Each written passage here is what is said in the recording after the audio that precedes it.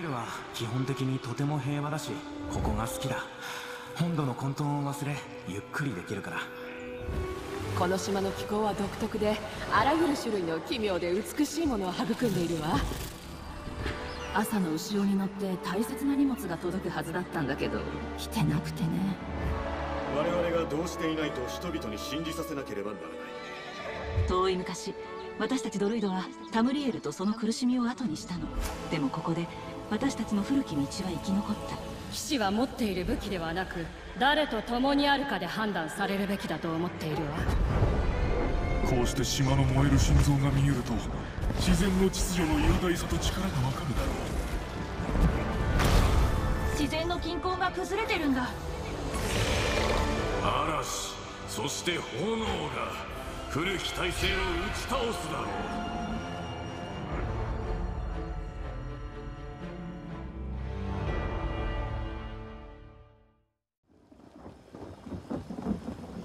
誰かいるぞ。メリーラインバーセル。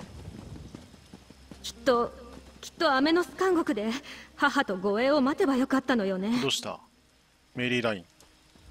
戦い慣れてそうな人をやっと見つけた。かわいいね。父はブローカロック鉱山の監督官。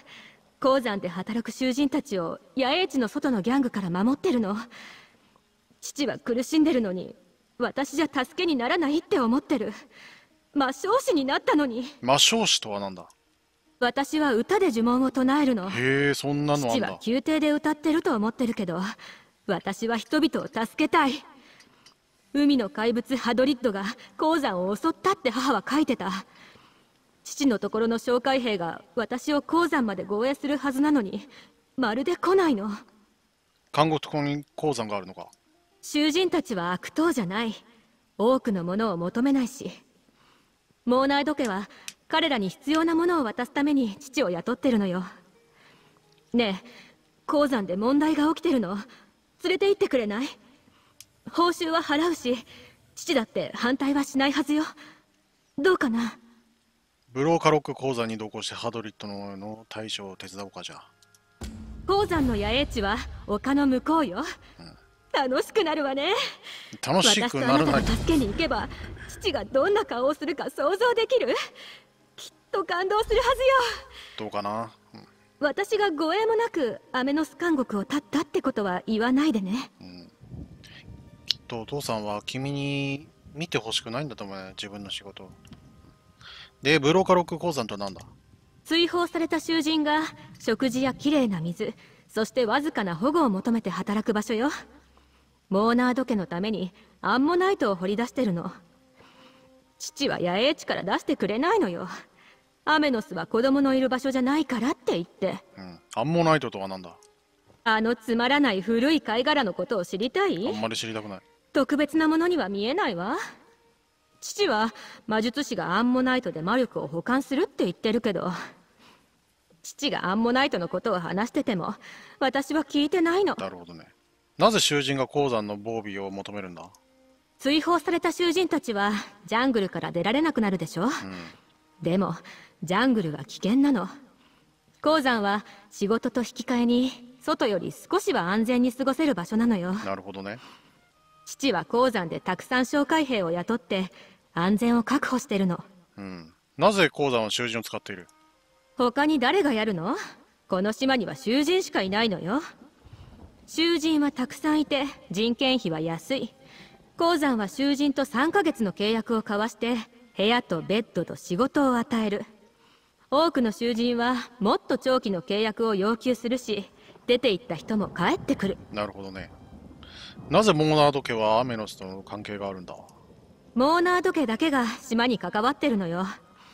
父が言うには他の島にいる貴族はアメノスのことなんて何も知らないそうよアメノス監獄にはモーナード家の代表がたくさんいて母は季節ごとに報告してる。なるほどね。なぜ護衛を必要とする？私の魔術は人助けになる。でも父の言うことを聞いてたら私は一生貴族のために蝶を召喚することしかできないわ。父は護衛を3人つけないと鉱山の野営地から出してくれないの、うん、それから何をするつもりなんだ？アメノスからしばらく離れる父がもっといい教育を受けさせてくれるというから。魔術と音楽。教師がいないとどちらも極められない。銀融詩人の大学と魔術師ギルドの両方で運よく教師が見つかったの。なるほどね。どうして歌が魔法の役に立つんだ？ほとんどの魔術師はアルケインの動作と生まれつきの精神力で呪文を唱える。ある友達がそう説明してくれたわ。私はそういう風にはしないというかできないの。私は歌で魔術を集中させるの。今の力を身につけるため私は多くの魔術師と訓練したわ。なるほどね。では音楽で呪文を詠唱するってことだな。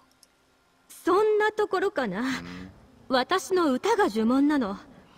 小さい頃一度だけ短く単純な歌を歌ったら料理の炎が緑になったのよ音建築についてよくわからない話をする変わった先生がいたけどその人も理解できなかったみたい。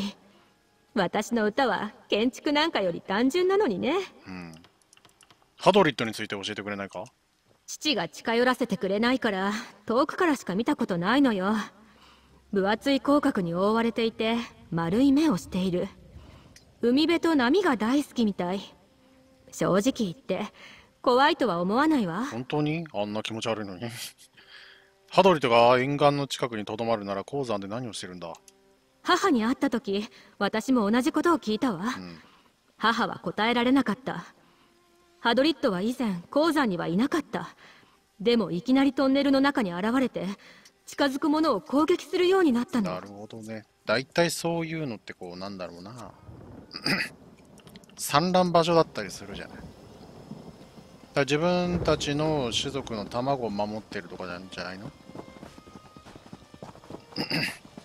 護衛の目を逃れて木の洞に3時間隠れていたの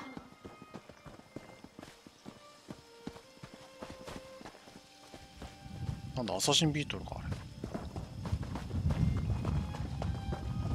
さてと、鉱山に行くか行く前に先にメインクエストの方行きたいんだけどな。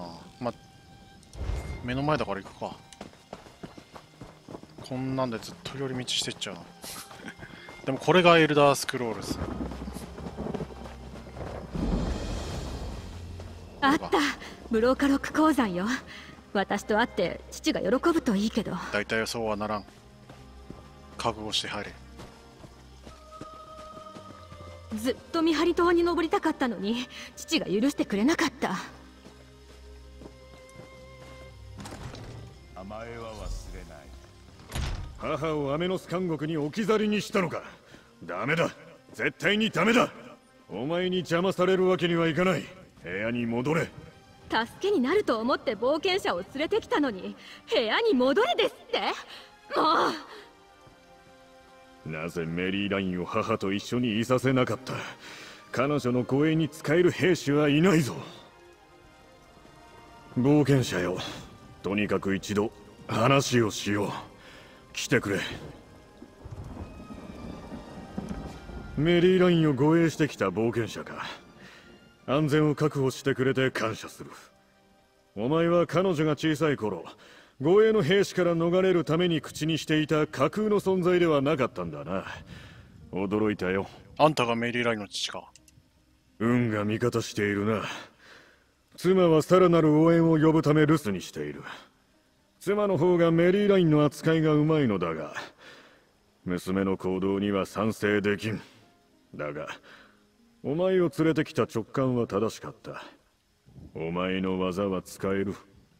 メリーラインは鉱山で何かが起きていると言っていたけど。娘は我々の秘密も打ち明けてしまったんだな。あ、ちょっと逃げたよ。そうなんか鉱山は悲惨な状態だ。ハドリットという獣が仮想トンネルに侵入した。操業は停止。哨戒兵にも囚人にも犠牲が出ている。今残っている部隊では鉱山を守るのもおぼつかない。なるほど。何をすればいい？地図を渡してくれ。鉱山周辺の塔からの報告では医薬品を積んだキャラバンが接近しているらしいのだがまだ到着していないなぜかを調べてほしい。包帯が絶望的に不足しているのだ。急いでくれ。わかった消えた物資のキャラバンを探そう。ハドリットの侵入を抑えられなければ鉱山の放棄を考えざるを得ない。モーナード家はいい顔しないだろうな、この講座の監督官なのかあんたは。そうだ。数年前。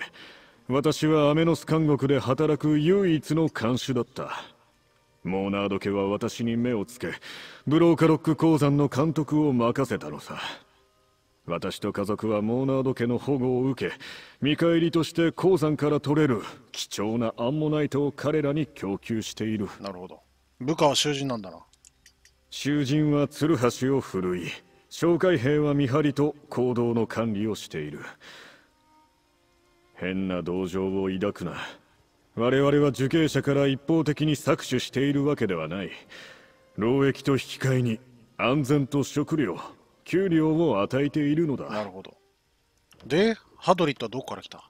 ハドリットがどこから来たのかは謎だがそれは後回しでいい。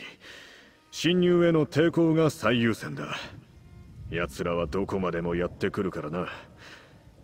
話を切り上げ任務に集中しよう。さあ消えた物資を探してくれ。分かった。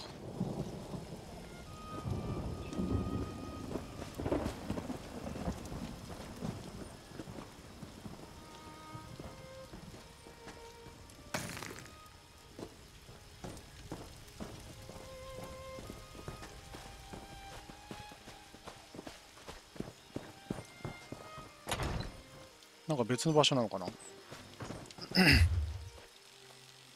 こね。あら。メリーラインがいる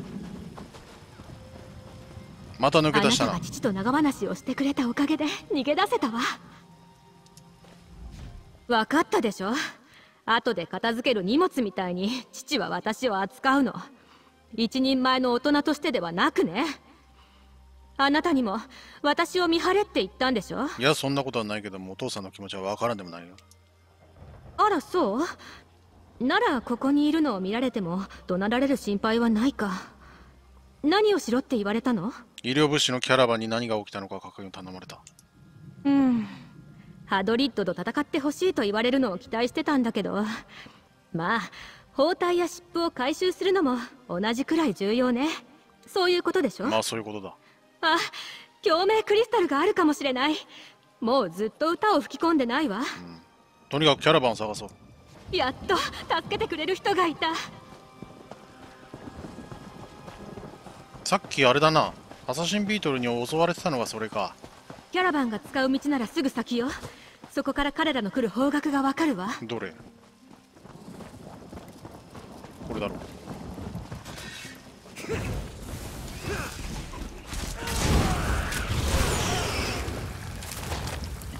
これか表面クロスタイルって共鳴クリスタル。キャラバン？みんなどこなの？これでは無事ではないだろうなきっと。ああやっぱりな。ジゼル。ダリック。あそんなそんな。彼女はみんなは倒れた。死んだわ。どうしてこんなことに？これがブッシュのキャラバンか。鉱山のすぐ近くだったわ。何に襲われたの？獣にやられたみたい。でもどんな獣？もしかしてハドリッド？ハドリットの仕業だと思うか？囚人のギャングのはずはない。多くの物資が残されてるから。これが冒険なの？一緒に育った人々が。こうなるのが楽しいもんだと思ってたのか？な冒険が。ハドリットはまだこの近くにいるかもしれないぞ。仲間たちの名誉のため歌を歌わずに行くつもりはないわ。このクリスタルが他の馬車に私の声を投影してくれる。歌ってる間物資を調べてくれる。他の荷車は左にあるわ。分かった医療物資を探そう。この歌で魂が安らかになりますように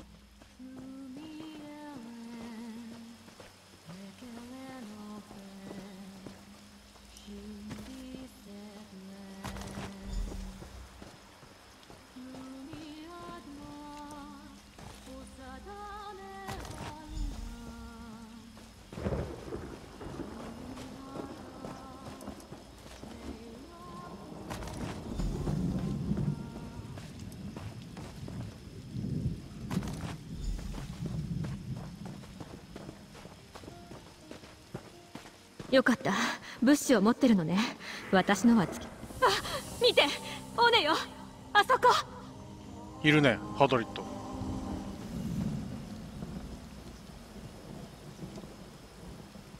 でお前は何をしていたの？怪物よ。ハドリッド。爪に血がついてた。私を殺しに来たの。そのクリスタル光るのか？共鳴クリスタルよ。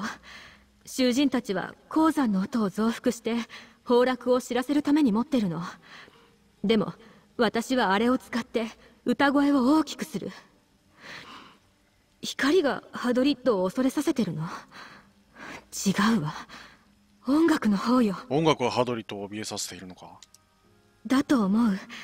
それともあいつらは音楽を聴いて気を鎮めたのかも。かもしれないね。しまった。最後まで歌わなかったわ。また初めからやり直さなきゃハドリットが戻ってきたらどうする？もっと共鳴クリスタルを探すわ。クリスタルの力と私の歌があれば安全よ。私は仲間を弔うわ。怪物がいたって関係ない。あなたはキャンプに戻って父にここでのことを知らせて。分かった。見つけたことをお父さんに伝えてこよ歌が終わったら追いかけるわね、う気をつけろよ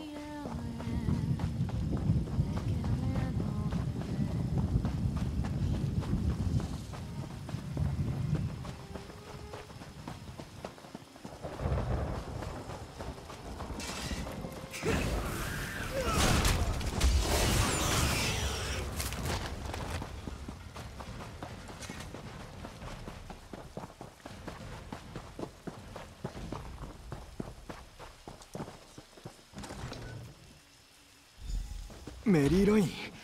ハドリットだ。攻撃してきた。お前の父親は。どうした？ハドリッドが攻撃を？何があったの？監督官。彼は鉱山へ押し込まれたんだ。鉱山に連れ込まれたの？急がないと。俺たちは持っていたもの全てを使ってハドリットを鉱山の中に追い返した。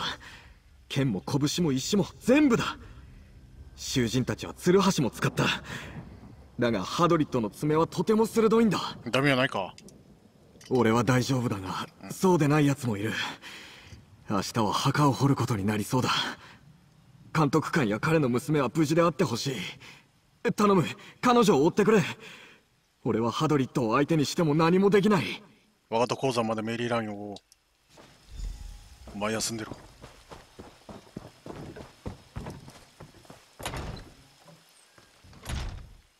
ブローカロック鉱山アメノス鉱山はモーナード家の監督により創業している。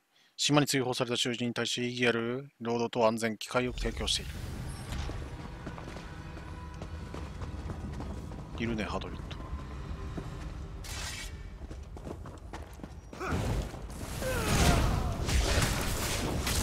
硬えな。あれメリーライン。うまくなってきたと。あ来てくれた。あなた抜きで駆けつけるなんて我ながら愚かだと思ったわ。なぜ待たなかった？エノクの話だと襲撃は少し前に起きたばかりみたい。もう少し早くキャラバンを後にしてたら父を救えたのに。で何か作戦はあるか？ないわ。私にあなたみたいな経験はないもの。でも父の命運が決まってしまうまで手をこまねいているつもりはない。私にできないと思うならあなたにも父にも私の力を証明してやる。鉱山の道はわかるか？昔はよくトンネルを探検してたわ。見られたくなかったから夜中にこっそりだけど。新しく掘られたトンネルじゃなければ場所はわかる。分かった鉱山に行こ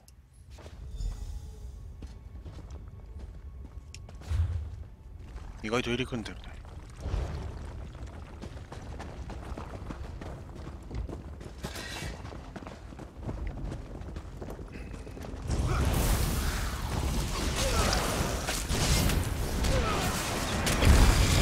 なんだその攻撃。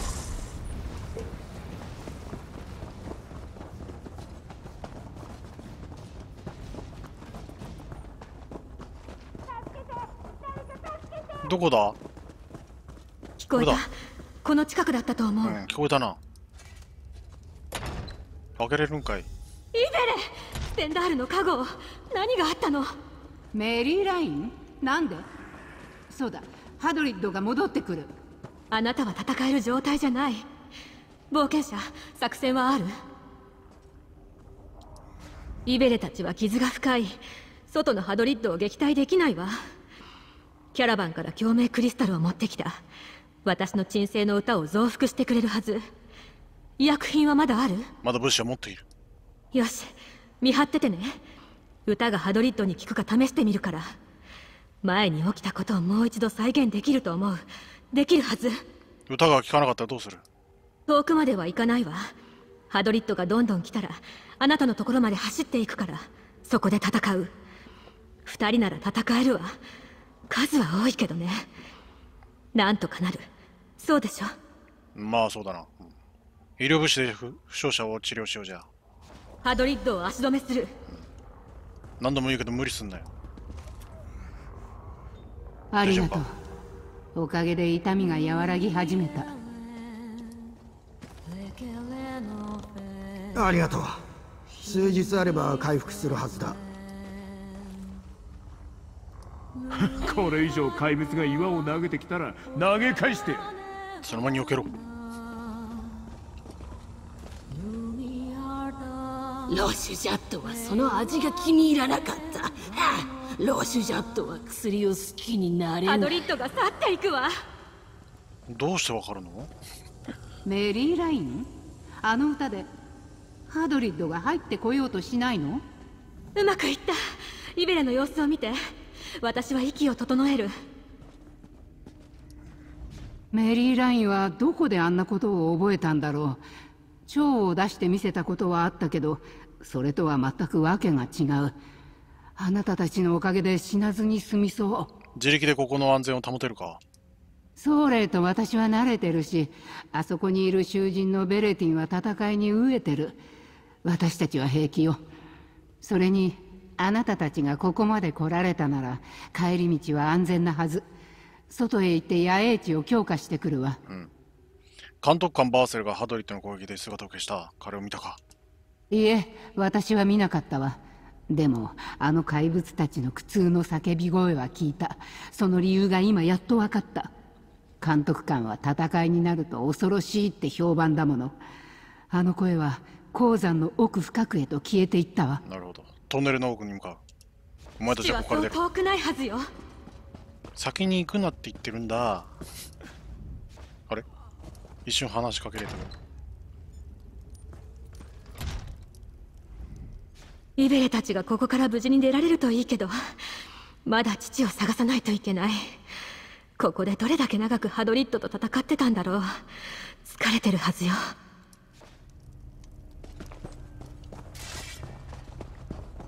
限界が来る前に追いつこう。あれは父の探検。この道を来たのね。包丁だけどね探検というか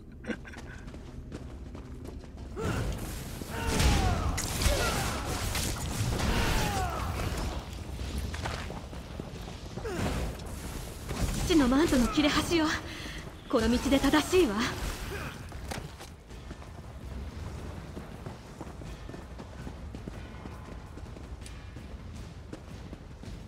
アケイン？彼は父の護衛よ。父を見つけましょう早く。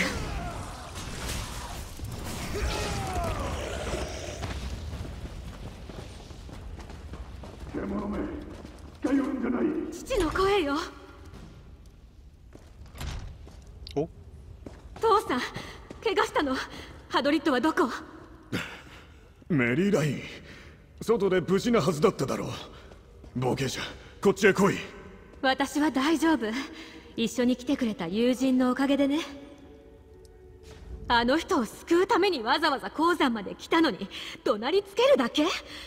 お願い父と話して。私には無理。子供じみてるって何よ？私は生涯をかけてメリーラインの安全を守ってきた。しかし無駄だった。手だれの紹介兵たちをも殺す恐ろしい獣がうろついているんだぞ。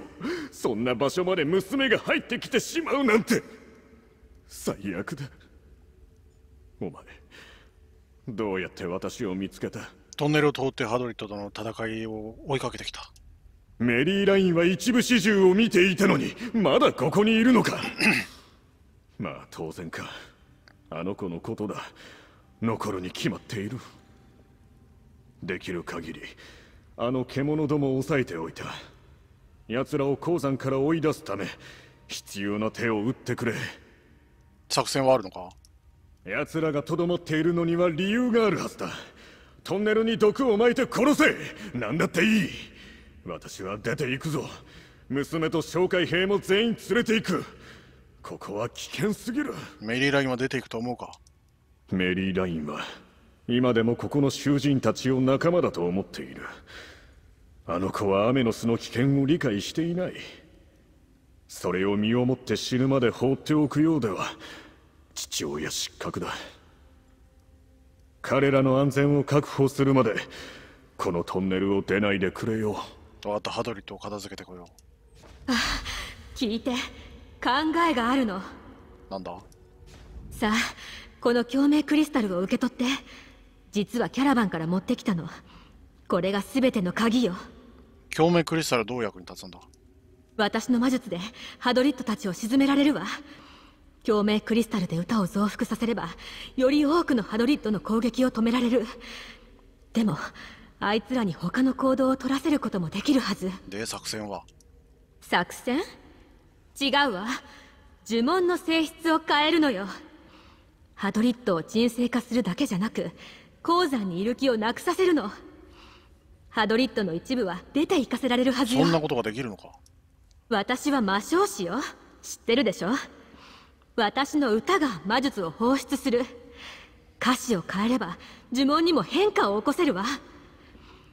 共鳴クリスタルをたくさん置かなきゃならない。いい場所があるのハドリットたちが使う入り口も見つけなきゃ。分かった。ハドリットを探そう。父さんハドリットを倒しに行く。ハドリットは有能な冒険者に任せておけ。お前は私と一緒にいなさい。友人だけにハドリットを任せる気はないわ。メリーライン私の言うことを聞きなさい。私は父さんや他の誰よりもハドリットとうまく戦える鉱山の奥に行くわ。自分で道を見つけて頼む。必ず娘を生き残らせてくれ。あの子は私の言うことは聞かんだろう。娘メリーラインは私の全てなんだ。守ってくれ。この通りだ。負傷者を自撃で連れ出せるか。ああもちろん。私はメリーラインのように楽観主義者ではないが昔はそれなりに腕の立つ戦士だった。頭の悪い獣の数匹くらいは相手にできる。だがメリーラインは私の腕では守りきれそうにない。メリーラインは魔法メリーラインの魔法はハドリットの攻撃を避けられるようだ。メリーラインの歌にはそんな効果があるのか。そうだ。幻を生むだけだと思っていた。しかし誰かがそばで守らなければ。お前に任せる。娘を無事に私のところまで連れてきてくれ。分かった。メリーラインを無事に連れてこよよし。責任の重さをよく理解してくれ。妻が戻ってきたらメリーラインがここにいることを期待するはずだ。もし妻に悲惨な知らせを伝えることになったら私の期待に背くんじゃないぞ。なんか嫌だな。これは選択肢でどっちかになるみたいな感じなんじゃないか。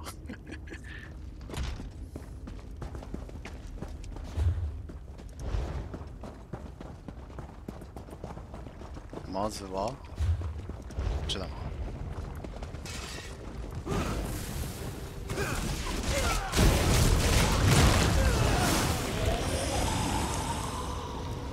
あれ？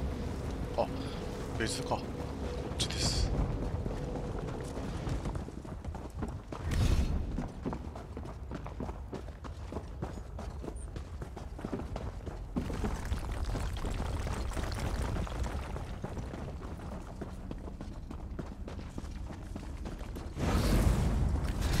水？このトンネルが一番深いのね。クリスタルが置けるいい土を探して。これじゃないの？海水の匂い？海はどれくらい近いの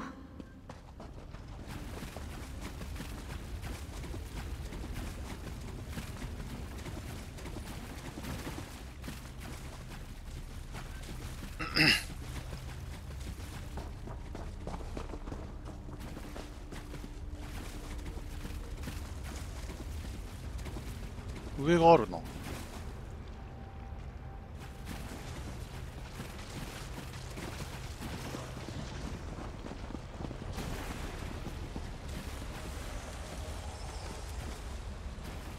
アドリッドは騒音のせいで攻撃してきたの？鉱山はうるさい場所だから。それだけか？なんかあんじゃないか他に理由が。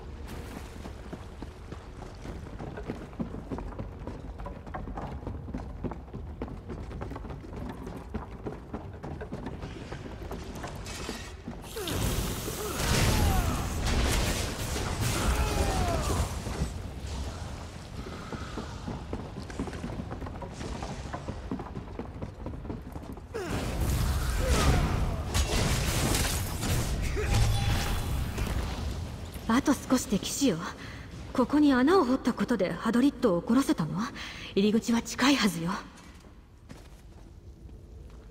クリスタルは置いた。入り口を探しましょう。上かしら。この先だな。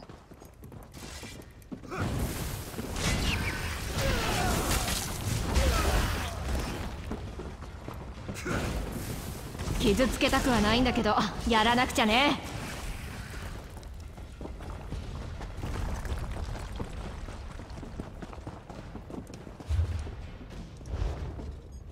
スカイシャードがどっかにあ上よ。あの穴から来るみたいね。るあれだな。見える場所に行かせて。いいわ。クリスタルをそこに置いて私は歌を歌う。待ってその前にこいつを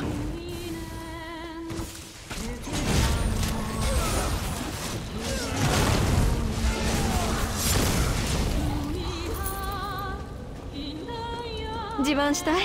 私がすべき？あれ？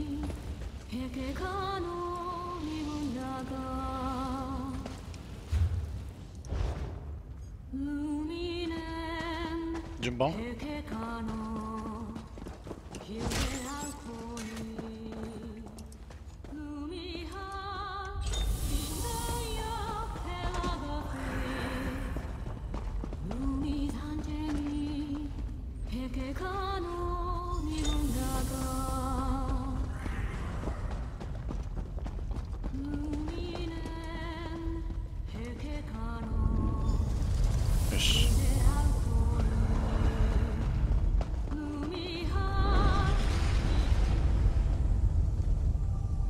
歌は終わりよ。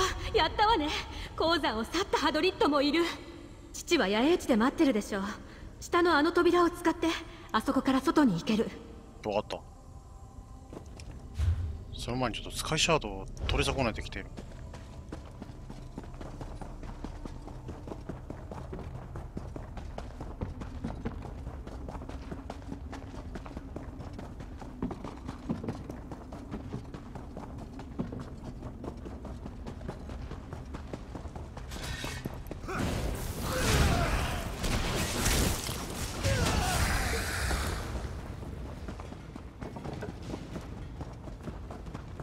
この辺りにあるはずだ。と思ったんだけど。あれ？違う？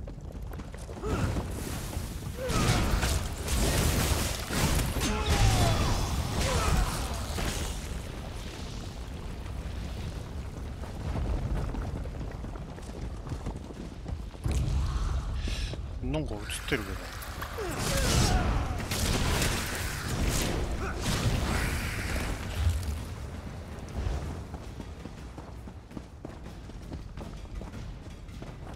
の鉱山はもしかして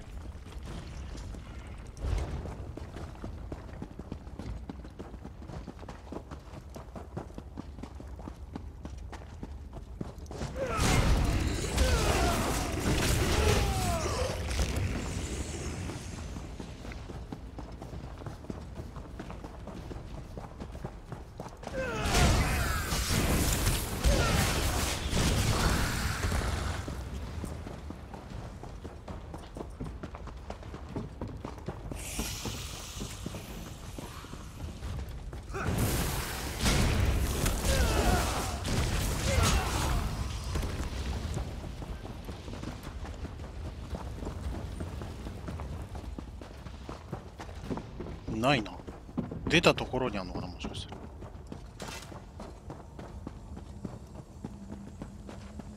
ないよね。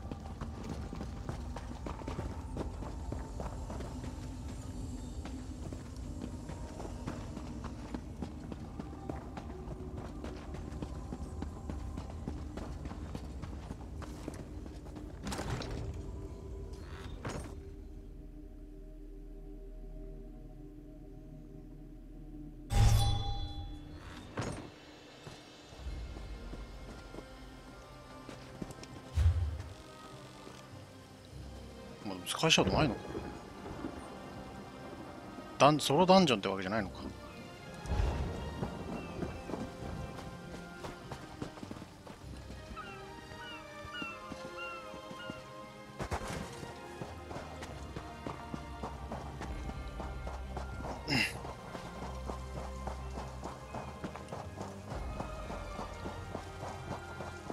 キャスカーいるね。ちょっと後で片付けたい。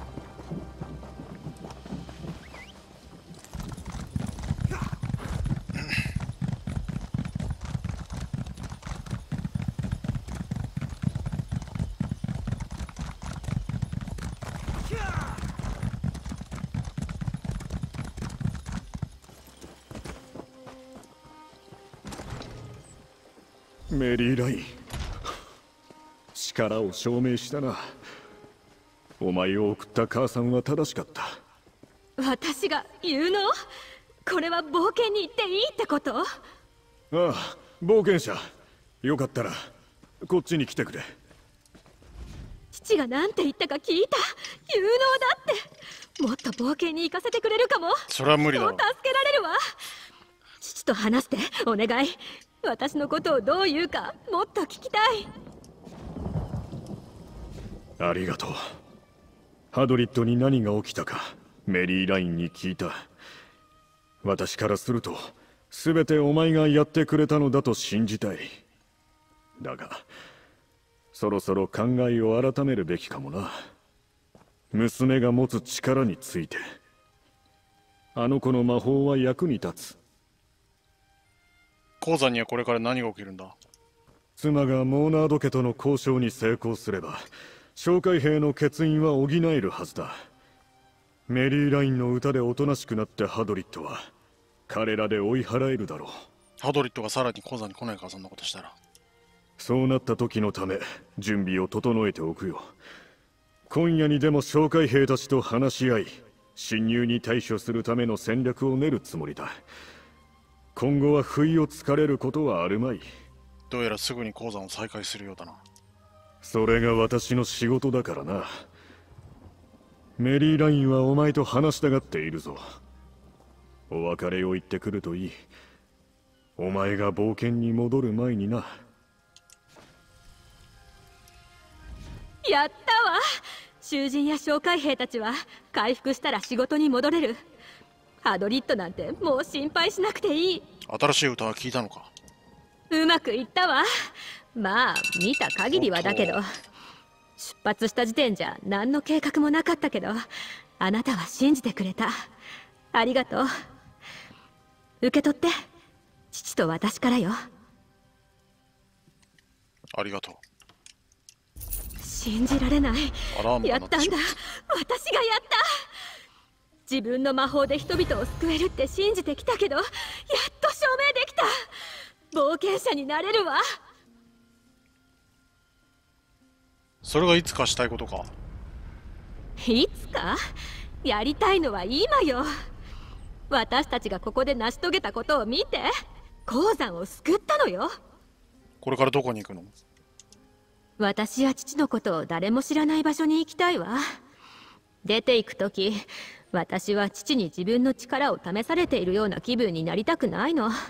目指すは一人前の冒険者だからケフレムかサマーセットかな？ケフレムどこだ？あの辺の海辺にはいつも船が出てるし。お父さんは行かせてくれると思うか？揉めないことを願ってる。揉めるだ本当にね。意見の違いを埋めたい。でも父がまた意地を張るんなら私は出ていくしかなさそう。この世界には私の力が必要なはず。ここで満足してられないわなんかな。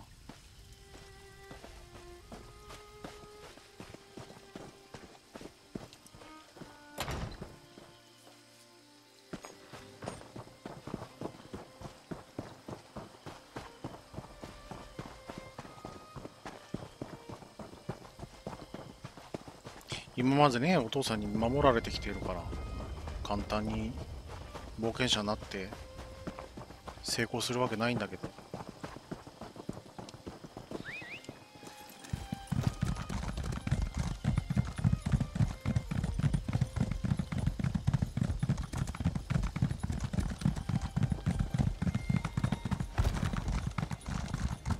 よしいたな。歩きて。気をつけた方がいいよ。泳いで戦ったんでお腹が空いててね。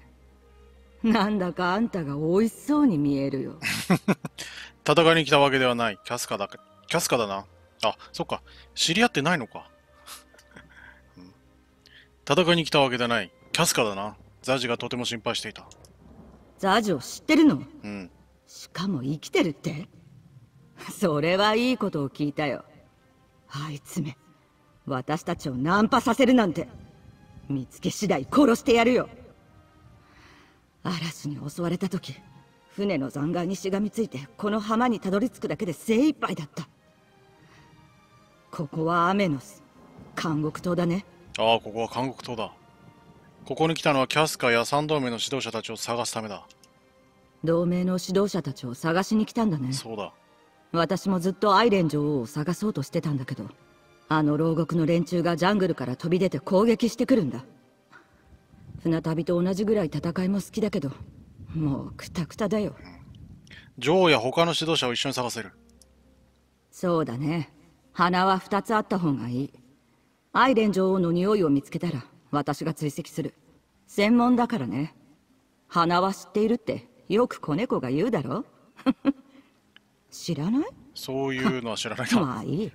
離れずについてきて。後を続後に続こうキャスカ調べよう。覚えのある匂いがあれば後を追える。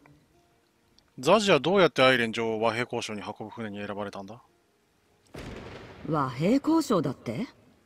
この件はそのためなの？そうだよ。ザジは王家から命令を受けたんだどうやら私たちは徴兵されたようだね。乗客がアイレン女王だと知った時は唖然としたよ。あの人がパーフェクトパウンス号を選択したことにね。そりゃ名誉なことだけどびっくりだよ。まあね。でキャスカーについていけばいいんだな。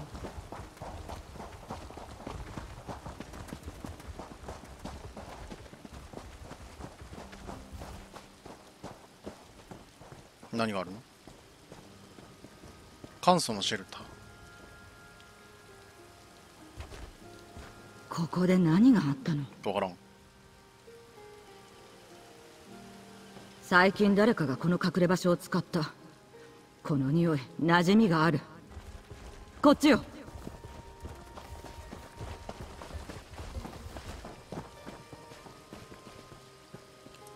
古いキャンプファイ時間をちょうだい。ヤどうぞ。火を起こした後ね。跡が続いてる。こっちよ。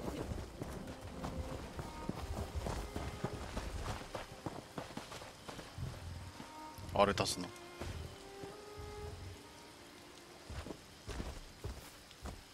匂いを嗅いでみる。ああ。ここで戦いがあった地面にあるの？は何？招待メダルだ。あのメダル女王の匂いがする。あそこよ。彼女の跡がある。ついてきて。やっと会えるのかな？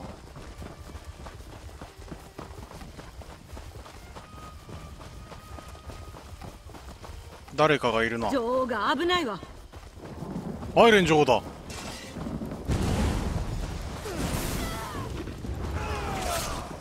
やっぱ強いねこのジャングルは危険ようろうろすべきじゃないわ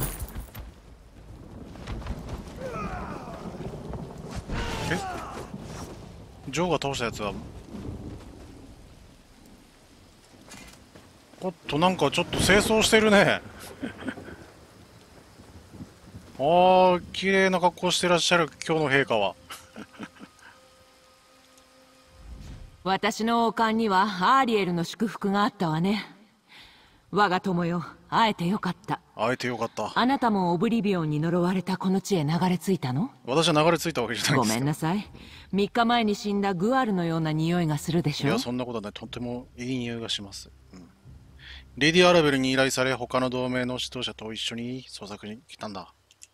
レディ・アラベルが私たちをこんなジャングルに置き去りにするわけがないと分かっていたわでも救助はあなた一人？今の軍隊や騎士団ではなく？まあいいわ。それは大歓迎よ。緑の大蛇を踏み潰すのは楽しいけど疲れてきたところだから。上級王上級王エメリックやイルンスカ王子を見つけ次第救出する船に合図を送れる。ああエメリックね。しばらく一緒だったけど口論になって怒って行ってしまったわあ一緒だったんだみんな彼の居場所はわかると思うけど救出の準備を整えてからにしましょう。私は海岸の嵐を沈められるの。その準備をしたい。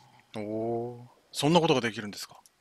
私がシーエルフの海賊と過ごした時のことは聞いたことない？いや今んところ彼らが天候魔法をいくつか教えてくれたのよ。へ儀式に必要な品を集めてもらえるかしら。火山の獣の爪と羽。それから溺死した船乗りの骨ね悲しいことにこの浜にはたくさんあるわ。え分かった。じゃあ天候の儀式に必要な品を探しましょう。爪と羽と骨を集めて集まったら救助船が無事に岸へ到着できるようにするわ。あなたがいない間にキャスカの傷を見ておく。本人は認めないけどかなりひどい傷のはずよ。船が沈む前に何が起きたんですか？あれは入念に計画された卑劣な襲撃だった私には召喚された嵐の魔法が感じられたわ。なるほど。アルケインの防備は一切機能しなかったから何らかの手段で遮断したんでしょう。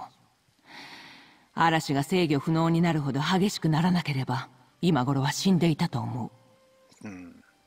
嵐の儀式の制御が失われたことを知っているのか？もちろん。私はアークメイジじゃないけど多少の呪文の避け方は知っているわ彼らは密偵も乗せていたようね。嵐に襲われる前マジカの波動を感じた。私たちが持っていた魔法の品はあいつらのせいで全て使い物にならなくなった。なるほどね。陛下は和平交渉を進めるつもりですか？絶対に続ける。タムリエルは変化しているわ。指導者たちは順応しなくてはならない。シロディールが現在のままなら前に進む道は見えないわこの交渉は世界を前に進めるための解決策になるかもしれない。私はいつだって真剣な会話を交わす人々が好きよ。なるほど。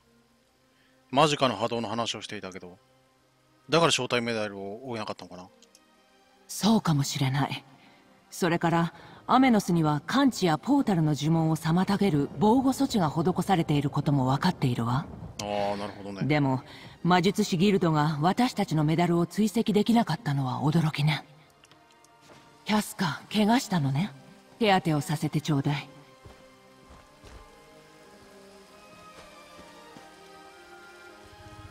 じゃあ私は素材を探そうか。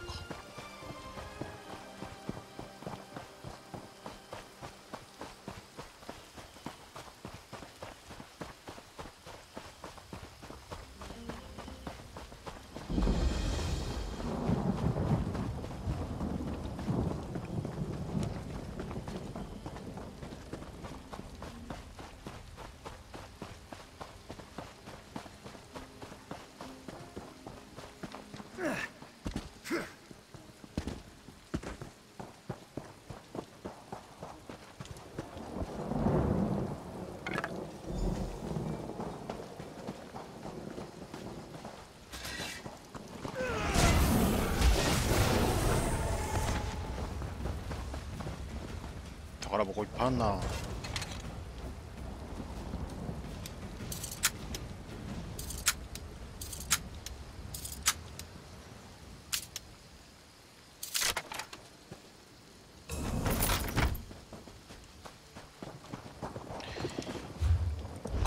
この旅の心開けてんな。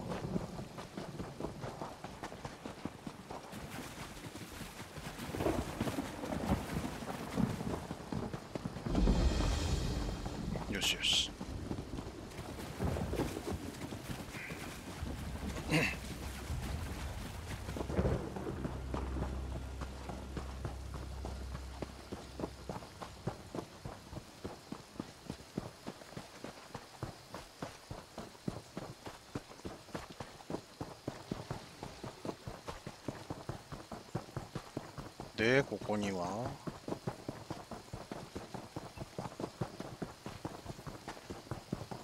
ハーピーの羽。あれか。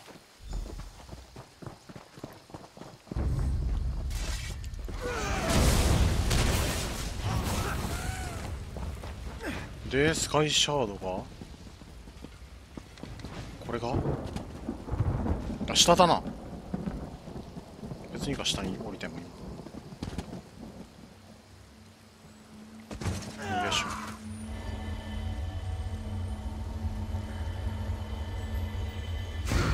オッケーでこれね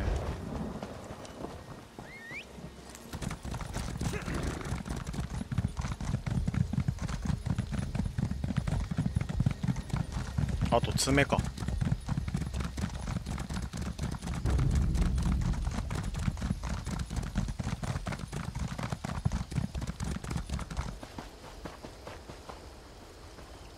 ブルケシの爪、うん、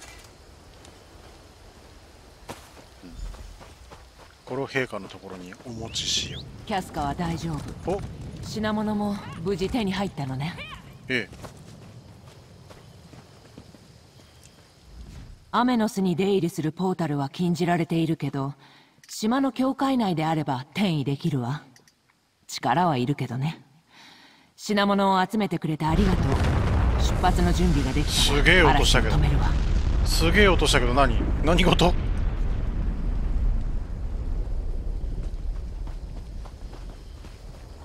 あこれか。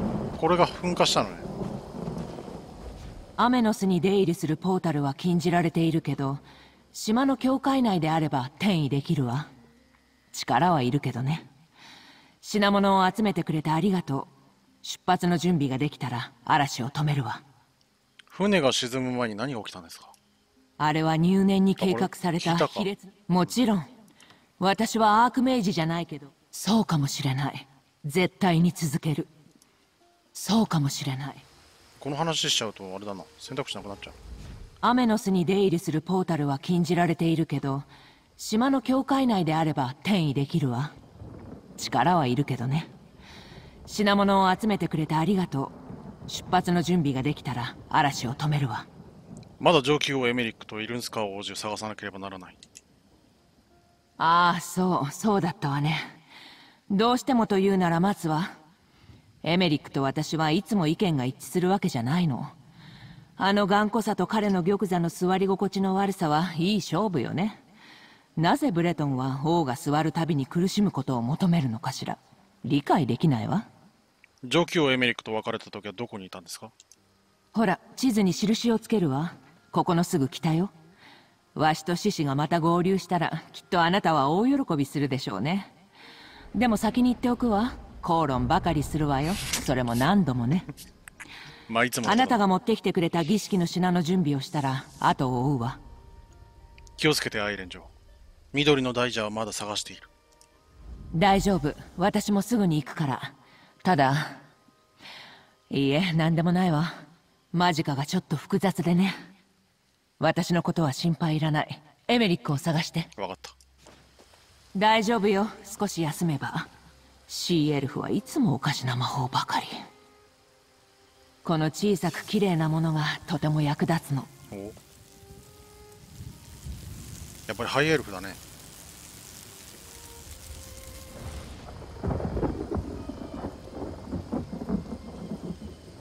なるほど。簡単にはいかないのね。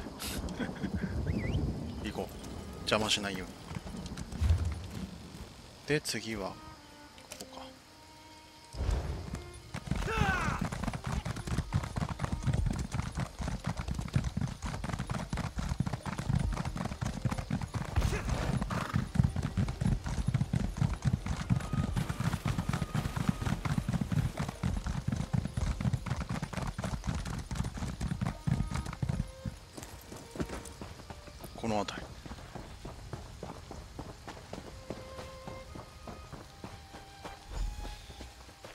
ここにいたんだけどエメリックはもういない。あれ？腹の立つ男。事態が複雑になるわね。話しましょう。エメリックはここにいないけど緑の大蛇が数多く倒されてるわね。あの年でも剣さばきはまだ衰えてないみたい。状況エメリックを探す方法に心当たりありますか？陛下。エメリックは信頼できることだけが取り柄よ。死んだ大蛇たちを見てわかるでしょ？追跡用の印を残したのよ。ほら道の先にある洞窟にまっすぐ続いている。彼を探しに行ってくれる？陛下は来ないのですか？すぐに行くわ。今頃は湿布が効いてるはずだからキャスカを連れて行きたいのよ。なるほど。脱出するには彼女の力が必要になる。それにあなたが船に合図を送る時には彼女がそばにいないとね。分かった状況エメリックを。そこの洞窟で探しましょう私のことは心配いらない。サマーセットの政治を生き延びられるんだから過酷な島くらい大丈夫よ。キャスカを連れに行くわ。後で合流しましょう。では後で。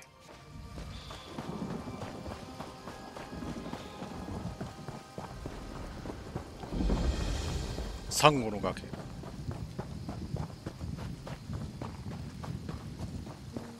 あらそこの人頼むよ船が難破した。助けが必要な人がいる。ブルシク軍曹。我々の船が攻撃された。おそらくサンゴだ。波の中から生えてきたんだ。一緒にいた紹介兵のベスリンとシーエルフの囚人たちがどうなったのかはわからない。意識が戻ると浜辺に一人だったんだ。何をしたらいいそれ？で船乗りへ他の監視はあそこサンゴの崖と呼んでる私なら生きては帰れないがお前は冒険者だろう。きっと生存者を連れ出せる。別のモーナード家の船が待ってる。早く捕虜を助けなきゃならないんだ。ベスリンが囚人と一緒だってどうしてわかるんだ？足跡を数えたんだ。一緒にいるのは間違いない。無事だといいんだが。ベスリンと囚人たちをサンゴの崖から連れ出してくれ。モーナード家が報酬を出すぞ分かった。ベスリンと囚人をサンゴの崖から連れ出そう。誰もサンゴの崖には迷い込みたくない。妙な音がそこら中に響いてるんだ。背筋が寒くなるよ。私の仲間の紹介兵と囚人たちを見つけ無事にあそこから連れ出してくれ。私は少し休んで動けるようになったら脱出する。囚人をどこに連れて行ったんだ？北だモーナード家の輸送船より大きな船が待ち受けてた。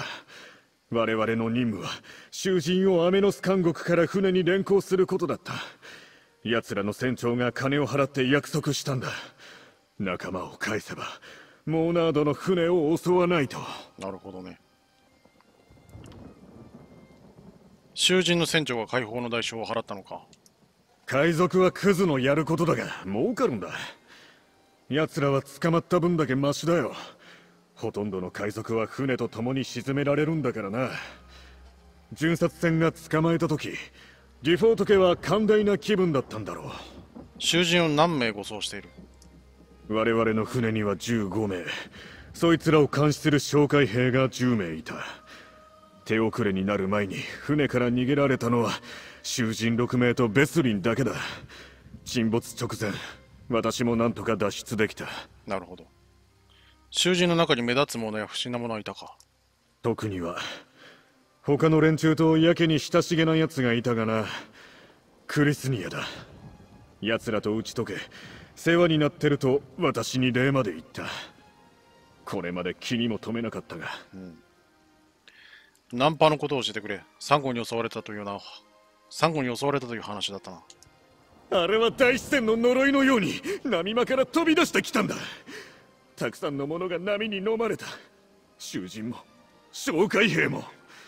副官は取引を無視したシーエルフの仕業だと言ってたがあんな魔法のサンゴは見たことがない。シーエルフの椅子はそんなに危険なのか？海賊にしては気のいい奴らだったよ。奴らの船長も気前よく代償を払った。シーエルフの襲撃だとは私には思えないな。強力なシーエルフは天候を乱すくらいのことはするがサンゴは使えないはずだ。モーナード家とは何者だ？ブレトンの貴族の家だ。アメノス監獄や監獄の栄装を取り仕切っている。島全体を支配していることになってるが鉱山を除くジャングル全体は放置してるな。なるほどね。アメノスには監獄の栄装があるのか正確には町以外は島全体が監獄だ。奴らはたちの悪い囚人たちを選んで何かやってる。処理と呼ばれてるが実際何なのか私は知らない。その処理を受けた囚人たちはジャングルに放され自力で生き延びろと言われるんだ、処理を受けた囚人がジャングルを出れば彼らは死ぬそうだ。なるほどね。どうやどういう仕組みで死ぬんだろうそれは。モーナード家でどんな仕事をしているんだ？監獄の移送船の紹介兵だ。この仕事は気に入ってる。厄介な囚人もいるが時期おとなしくなるしな。ナンパの前は何もひどいことはなかった。ここはどこか不気味だ。感じるんだ。何かを。何かをね。行こうとりあえず